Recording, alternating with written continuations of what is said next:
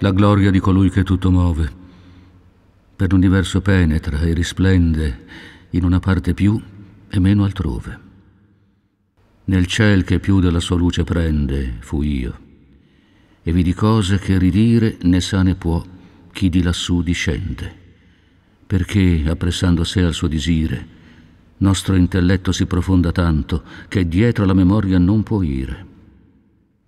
Veramente, quant'io del regno santo nella mia mente potei far tesoro, sarà ora matera del mio canto.